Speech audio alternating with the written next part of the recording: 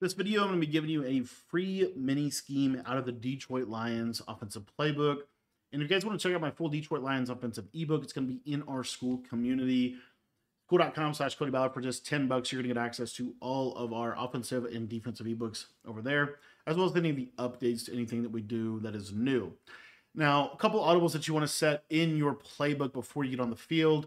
You want to have motion Y post. This is in the trips tight end flex, motion Y post, tight end in halfback angle, and PA shot crossers. And then you're going to be coming out in bunch X nasty. Now, the audibles you want to have for this is motion Y corner under motion RPO zone alert, motion halfback choice, and corner out dig. Now, for this scheme, you want to be coming out in your bunch to the short side. And if you want to stay in bunch, you're going to flip your play. And if you want to go to trips, you're just going to audible to trips. So it's going to take advantage of kind of the audible around stuff. So as you see here, I'm in short side bunch. And I want to show you the main reason why this formation and really this this scheme here as a whole is being ran by so many people in the comp community. Because what a lot of people are doing, one of the best coverages in this game is cover two man. And what we'll do is we'll flip this. A lot of nickel sets, this is going to misalign their man coverage.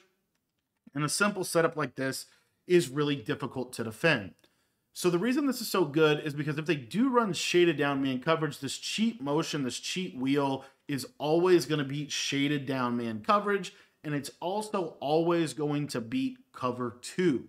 So you have a really nice play in it where you're basically forcing your opponent to have to run cover three or cover four. So you see here, let's say that they run some cover two. And let's just say, for example, that they leave this cloud flat out here.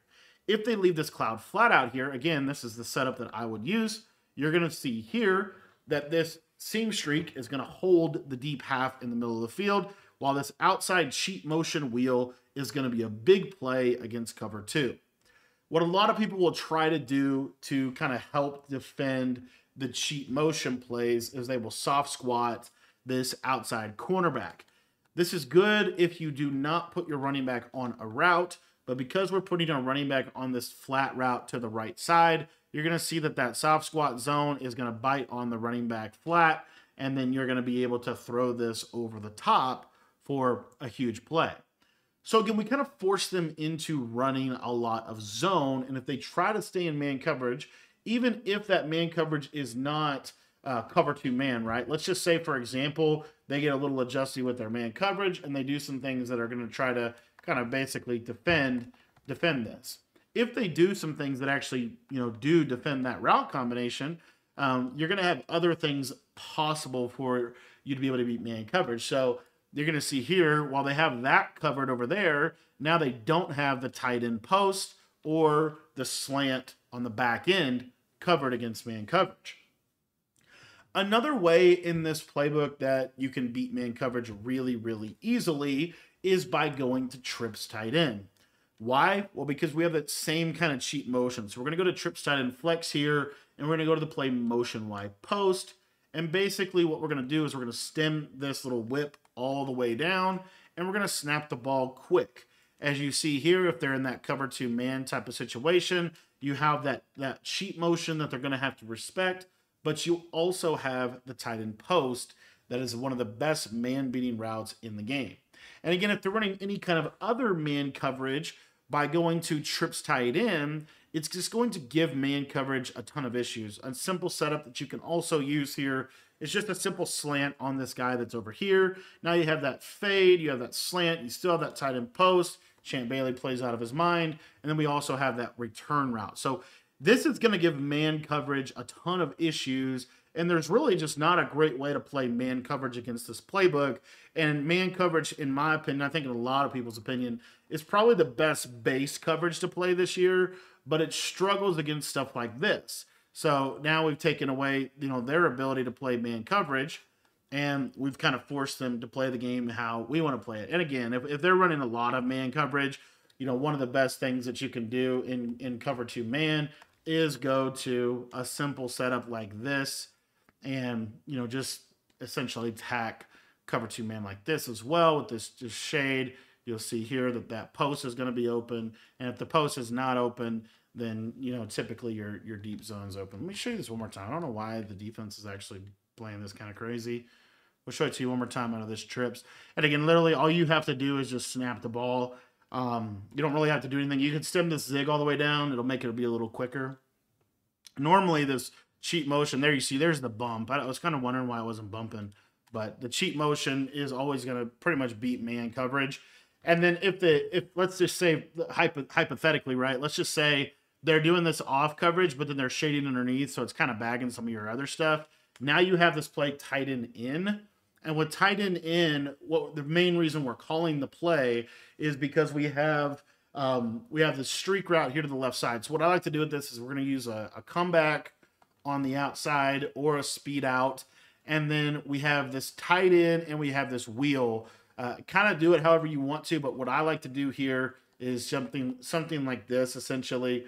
And if they're doing this backed off, you know, shaded down man coverage, then you're going to be able to attack it with this tight end drag. You're going to be able to attack it with the seam streaks, all the things in this formation. Another way that we can attack kind of that shaded down man, as well as a lot of coverages out of this trips tight end flex formation, is this play halfback angle. Uh, basically, to set this up, you're going to drag your tight end, you're going to flat your outside guy, and you're going to streak your inside trips receiver. So our middle trips receiver is the flat route. And then if they're in that shaded down or shaded cover two man, you see how you can't really do that against stuff like this. And again, this is just a touchdown waiting to happen against one of the best coverages in the game. So back to kind of forcing people into coverages that they don't want to be in, right? Like zone. Um, another thing that you can do here is again, you just flip your play and then you could run a another combo like this, which is pretty good and effective for beating zone. So if they're running a lot of zone, we might run something like this. This is pretty good against cover three and cover four. As you're going to see that this corner route is going to, they're going to struggle to be able to defend this corner route to that side of the field uh, within this play. Now, our base setup out of motion cross post also attacks cover three and cover four really well. So if they are running cover three or cover four, you're going to have this seam streak and then really this this slant is going to get into a nice spot of the field. I got to throw that running back flat as well. The running back flat is really just there to pull zones. It's also there though if they're playing super undisciplined, you can just take your simple flat route. So you'll see here like if they're not if they're not shading underneath, we can just throw this simple flat route and a lot a lot of times in this game you'll break that first tackle and you'll be in a position where, you know, they're going to have to respect that. So now they're going to shade underneath. They're going to play cover three hard flat, cover four hard flat type of coverages. And this is where this, I think, gets really good because once we get them to do something like that, then we can throw this slant route over in this area of the field, which makes that a, a, a route that you're going to have to switch to, a route that you're going to have to respect. And then simultaneously, while you're having to respect that route, let's say they're switch sticking to that or they're doing something to go guard that, now backside here, this is going to open up kind of that backside middle area of the field where we can kind of throw this tight end. I'll have to show that a little bit better. These hook curls are playing out of their mind. And again, obviously, most people are going to be sending four out of their coverage. And most people are not going to have their yellow zones, you know, run 10 yards backwards. Uh, they're going to shade them underneath. So you'll see here, you know, against kind of that more shaded underneath standard yellow, this is going to get way more open. As you can see, that tight end kind of get into that soft area of the field. And then another thing that you can do occasionally, right? Let's just say you want to be simple here. You could run a combo like this. And if they're if they're ever just not shading or they're just, you know, really getting their back there with their yellows, we'll just throw these little drags all day long. These drags are super open in this offense. Another play that you can run out of this is motion Y corner under. You're just going to flip the play. You're going to drag this outside guy and you're going to streak the slot you can send the tight end down one if you want. You don't really have to here. This is another really good way that we can just take advantage of kind of those yellow zones in this game being really bad. And we could just throw that little return route against zone.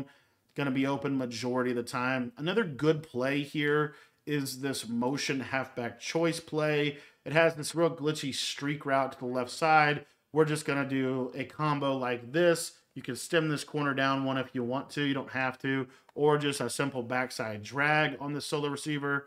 But basically what this is going to do is if they are running more of a cover three based coverage, they're going to see here that this can take advantage of that. And you'll see that this um, this tight end post or even this seam streak, you know, can actually cook cover three. And of course, um, I don't know if I rolled the wrong way or what. Let's see if we can fix that. But this is something that you can have against cover three, against most people. Yeah, I think I just rolled wrong. And again, if we leave the corner route, it'll be a little better. So again, motion halfback choice. You're going to flip the play. And then if you want to stem this guy down, let's see if he actually stems down. I don't know why he's not. You can just put him on a regular corner and stem him down like this. And then maybe stem the post up one, like so. Okay. And what you'll see is against cover three, you see that this post is a nice option for you against cover three. So you have a lot of good plays in this in this little uh, kind of mini scheme here. Another thing you have in this playbook that is really good is this PA shot crossers. If you're wanting to start to kind of, because again, you're kind of forcing them to run cover three or cover four.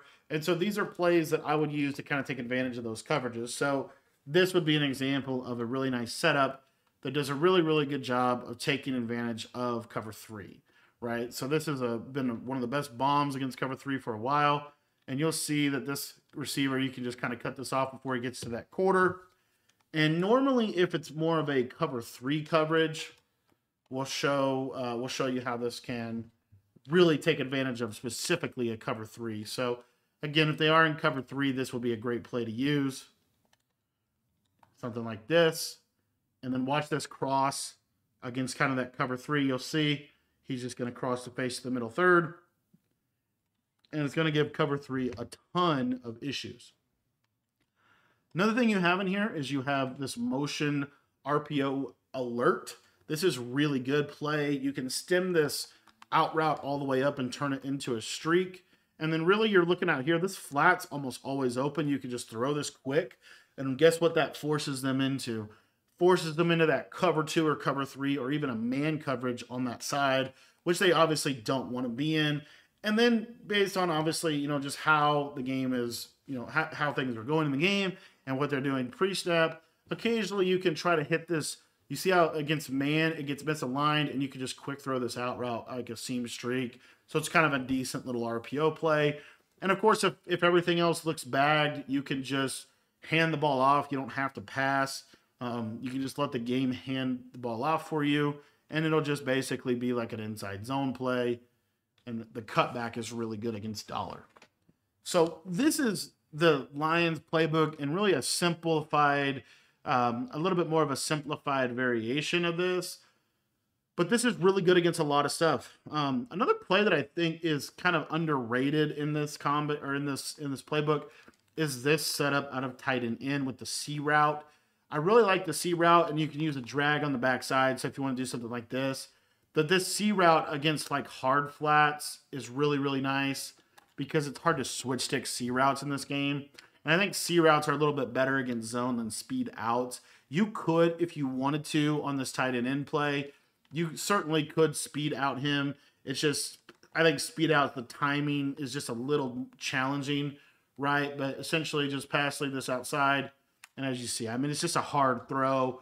I think those speed outs are hard to throw in these trip sets, a little harder than a little harder, uh, in my opinion, than like a than like a C route because C route just longer developing. But if you want to use these speed outs, you know, you just throw this to the sideline, possession, catch it, and that time I didn't even pass lead it and it was able to work out for me. So you have that. You just have a lot of stuff in this in this offense, and then for kind of good measure, you also have uh, tight open, and you can go to kind of some two by two compression type of stuff. This corner out dig play is another one that we didn't even quite get into. But again, if you're getting a lot of cover two to this bunch side, this would be a combo that's not terrible against this, right? This corner is going to do a really good job of attacking cover two to that sideline. Not really good against cover three or cover four, but it just makes it so that it's hard to run cover two on either side. And now you're really forced into kind of that cover four coverage on both sides uh, which I think is really, really, really difficult to run in this game. Another simple play that I think is pretty good would be something like this. Fairly simple setup here, but mainly the biggest thing here is you got that cheat motion. And then really what you're looking for is this post route coming across the middle, just something a little bit different. But this is the Detroit Lions mini scheme that I think is just super good right now. And it's just very difficult – very difficult for them to stop this this little mini scheme here. So if you guys want to check out my entire Lions offensive ebook, it's going to be in the description down below. But this is probably, I think, going to be the clear cut meta for a while, just because um, the auto motion plays are so effective in this game, and this probably has the best combination of them.